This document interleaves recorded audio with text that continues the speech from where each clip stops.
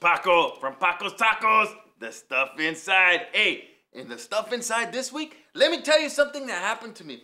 I was over, I'll let you say, on the coast somewhere at a mall where I really don't like to be. And, uh, you know, I had some bad Mexican food that was kind of getting to me, so I had to use the restroom.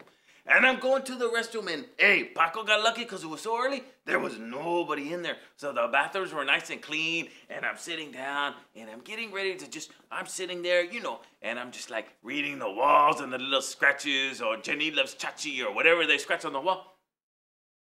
And I just want to tell you, why is it that people, when they walk into the restroom, they don't look underneath to see where the feet is, and they go and they sit right next to you in the stall. Now, when you're just about to go and you're feeling that pressure and it's getting ready and you're going to drop it and then somebody sits down next to you, what do you think it does?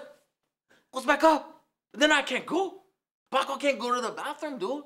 And this guy that's sitting right next to me, obviously he's not shy because it sounded like the waterfalls over there at Yosemite, man. It was like, rah, rah, and it's just going down and I'm like, oh my God, how, how can I, how can I do this? And you know what?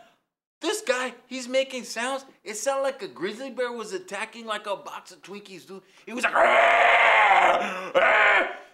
I can't relax. I can't relax. So now what I got right here that was about to go that way is going back this way because this guy's going, "Ah!" and he's all screaming and yelling. Why is that? There is 10 stalls and he decides to pick the one right next to me. Like he can't see these size 11s underneath the stall. Dude, come on.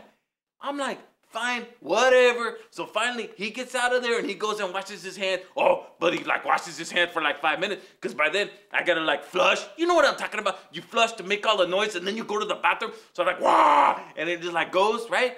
And to verge off of this just a little bit because just something I gotta talk about is those bathrooms with the with the little sensor.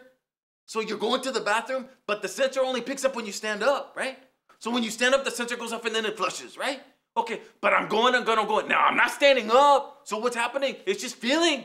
It's just feeling up with the stuff. So I gotta go like this to try to get it to flush or go like that with my hand. That's stupid. That's the stupidest invention I've ever seen. But anyways, and I get done and I'm, I'm getting up and I go and pick up my stuff and I walk out. And there's a little Chinese guy about like this tall. He's like about four foot nine, Mr. Miyagi, Yoda looking little guy, and he looks up at me and he's got headphones on. Well, he's got headphones on. He can't hear the noise he's making, but I hear all the noise he's making, right? And I go wash my hands and I look at him, I'm like, dude, did you feel okay? And he's like, eh. He can't even understand me. I, you know, it makes Paco just want to pick up this little Chinese guy and stuff him into the little toilet and then hit the sensor so he goes and flushes down. So all I'm saying is this. If you're going into the restroom, look for these big patas underneath there and go to the one next to it. Could you do it at the movie theater? Because you don't want anybody to think you're gay or something. You don't want to sit right next to your friend. So you skip over to the next one and leave the seat in the middle, right? Do the same thing with the bathroom and let people have their privacy. Let people be able to relax because that's why they're in there. Remember? Rest room. Orale! This is Paco for Paco's Tacos. Stay low.